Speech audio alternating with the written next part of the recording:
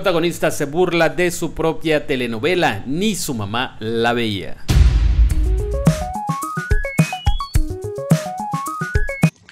Pues sí, Angélica Vale eh, decidió hablar sobre su última telenovela que realizó en Televisa, que resultó un verdadero fracaso. No sé si ustedes se acuerdan de esta historia que se llamaba Y mañana será otro día, que creo yo que desde el nombre había un problema, o sea, era un nombre largo, no decía nada, pero sumado a eso, era una historia que tenía un problema desde la raíz y en su momento cuando estaba al aire, lo comentábamos, ¿no? Hicimos la crítica y comentábamos que era un problema que traía la historia ya arraigado, que era que una protagonista no, eh, el personaje protagónico que ella interpretaba, no era aspiracional.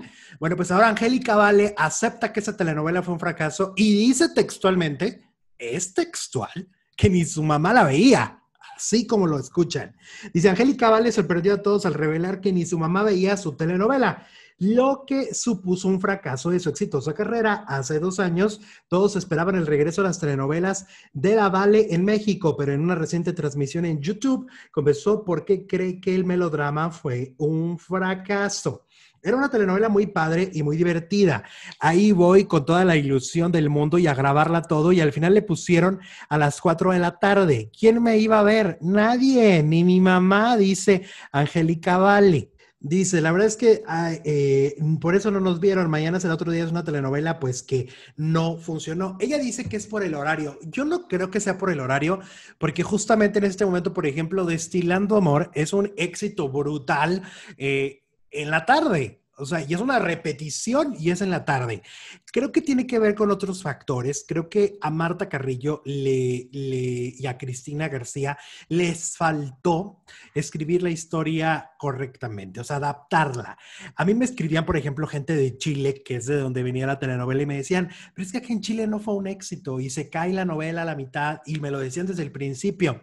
Y efectivamente fue una historia que no, que no funcionó digo yo que no es por el horario. Ahora, sí era muy esperado el regreso de la Vale, porque había hecho otro fracaso en Telemundo, pero a México no había vuelto a hacer una telenovela desde La Fea Más Bella que lo que ocurre con la fea más bella, y lo comentábamos la semana pasada, es que es un fenómeno, es un fenómeno televisivo muy interesante, muy impresionante, porque se repite y vuelve a tener éxito. Ahorita, por ejemplo, rompe récord en los fines de semana en el canal de telenovelas.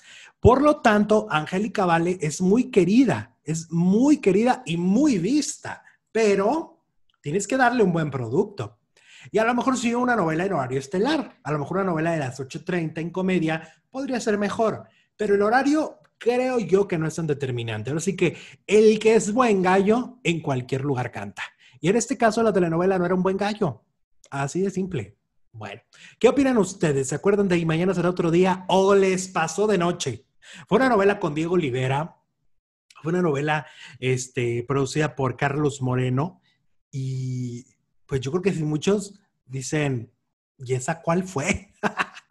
bueno, dejen su comentario, suscríbanse a este canal, síganme en redes sociales como Alejandro Zúñiga o Alejandro Z Radio y nos vemos en el próximo video.